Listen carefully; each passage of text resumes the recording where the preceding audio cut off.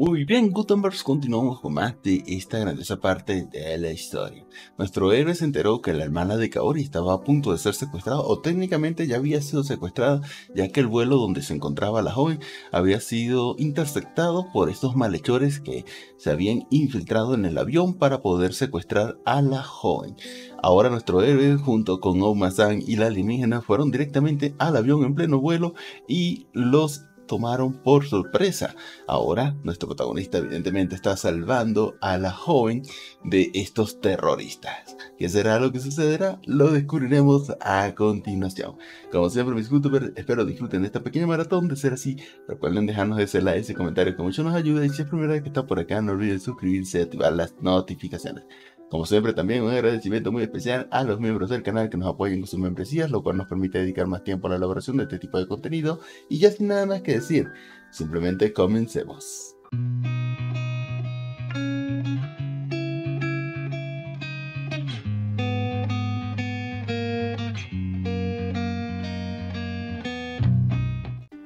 Volumen 8. Capítulo 4, Primera Caminata, Parte 4. Esto fue antes de que me apresurara a subir al avión. Nos mudamos del centro de la ciudad a un parque cercano. Con una sonrisa traviesa en su rostro, Omasan propuso una idea ridícula, volvería a su tamaño normal y nos haría viajar en su espalda y luego volaría a la parte inferior del avión secuestrado. De hecho, si hiciera eso, podríamos volar por el cielo sin ningún problema, pero la existencia de Omasan definitivamente quedará expuesta. ¿De qué te preocupas? La máquina de esa niña puede borrar los recuerdos humanos, de todos modos. Sí, puedo borrarlos. ¿Cómo puede ser tan casual? Claro, no importa si no hay efectos secundarios. Pero no hables de borrar recuerdos tan fácilmente. pero si los secuestradores se salen de control y estrellan el avión. Entonces simplemente lo dejaré en mi espalda. ¿Qué? Cuando me quedé paralizado ante esta escandalosa declaración, Omasan continuó. ¿Recuerdas por qué soy de este tamaño en primer lugar, verdad? Ese sí. Es el efecto de la píldora de cambio grande y pequeño. Ah. ¿Te diste cuenta? Al tomar esa pastilla, puedo volverme incluso más grande que mi tamaño original. Si hago eso, podré poner el avión en mi espalda. La forma original de Umasan era de hecho más que lo suficientemente grande, pero si se volvía aún más grande, no puedo imaginar cómo sería. Por supuesto, si me lo coloco en la espalda, el viento se lo llevará. Usaré mi magia para mantenerlo en su lugar.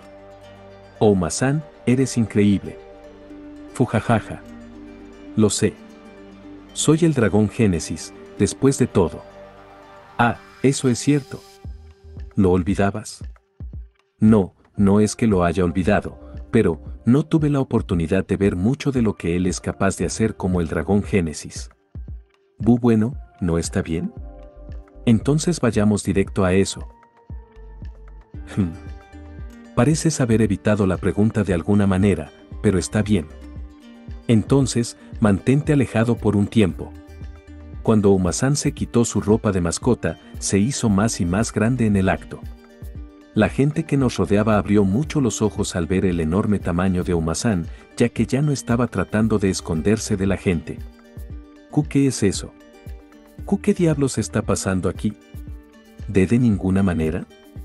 ¿Un dragón? Hey. Toma una foto. Mientras todos se apresuraban a tomar fotos y videos, Melsan saltó sobre la espalda de Umasan agrandado y dijo claramente. Oka, lo borraré entonces. EA. HU. Los ojos de las personas cercanas se volvieron gradualmente vacíos y comenzaron a mirar en blanco. E, realmente no hay efectos secundarios, ¿verdad? Esto está realmente bien, ¿no? ¿Qué estás haciendo? Súbete a mi espalda ahora. Así es. Su conciencia está nublada por los efectos de la manipulación de la memoria en este momento, pero si se despiertan nuevamente, tendré que borrar sus recuerdos. Nuevamente, entiendo. Incluso si no hay efectos secundarios, no sería bueno manipular su memoria repetidamente. Rápidamente salté sobre la espalda de Umasan y él sonrió. Ahora que estás a bordo. Entonces, Po por favor espera.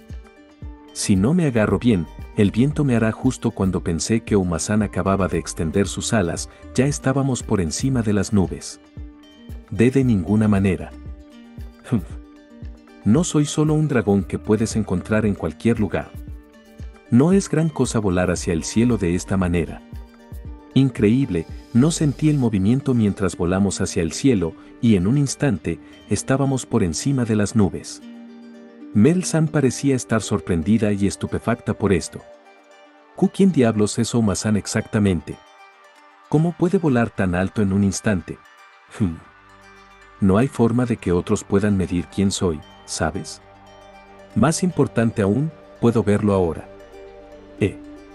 Las palabras de Umasan llamaron mi atención y miré hacia adelante para ver un avión. ¿Es ese el avión que fue secuestrado? Así es. Oumasan, ¿puedes volar junto a él?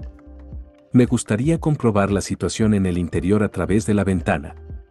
Bien. Oumasan aceleró silenciosamente y se colocó instantáneamente junto al avión.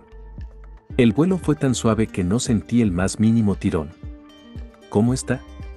¿Cómo está el interior? Un.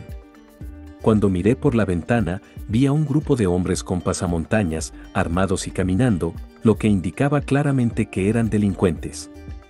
Sí, parece que están en este avión justo cuando estaba a punto de decir eso, vi a una chica que se fijaba en nosotros fuera de la ventana y nos miraba con asombro. La niña se veía tan consternada que sonreí y agité la mano ligeramente.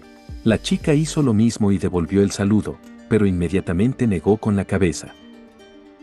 Aparentemente, no podía creer lo que estaba viendo. Supongo que es comprensible. Si estuviera en su lugar, también dudaría de mis ojos y de mi cerebro. Hmm. Hey, Yuya. ¿Cuál es el resultado? O lo siento. Este es el avión correcto. Ya veo. Entonces usaré inmediatamente magia de unión para sujetar este avión a mi espalda. Tan pronto como dijo eso, la figura de Umasan se hizo más y más grande hasta que fue tan grande que parecía una isla. Luego, a pesar de ser un gigante, se movió justo debajo del avión sin hacer ningún sonido y luego flotó hacia el cielo para poner el avión en su espalda. Oumasan activó su magia para atar el avión a su espalda. Humo. El ensamblaje se completó sin problemas. Tú encárgate del interior. He entendido. He tenido la ayuda de Umasan hasta este momento. No puedo permitirme fallar por mi parte. Cuando me acerqué al avión para abordarlo, noté algo. ¿Cómo se supone que voy a subir a este avión? Así es, no tengo forma de entrar al avión. Si simplemente derribara la puerta, podría entrar, pero si lo hiciera, existía la posibilidad de que la presión del aire o algo así succionara las cosas de la cabina, como en las películas. Dado que Mel-san y yo podemos estar de pie sobre la espalda de Umasan sin ningún problema, parece que Umasan se ha ocupado de la presión del aire y la presión del viento, pero quiero estar seguro. Entonces, Mel-san abrió la boca. Solo necesitas entrar en este avión, ¿verdad? Eh. Ah, sí puedes hacer algo por ello? Pero incluso si lo haces, me gustaría asegurarme de que no haya peligro para los pasajeros que están dentro. Por favor, déjamelo a mí. La tecnología de Amel está muy por delante de la de este planeta. La tecnología espacial es tan asombrosa. No, en este caso, ¿es el planeta Amel el que es asombroso? De todos modos, solo puedo agradecer a Mel Sam por su tecnología.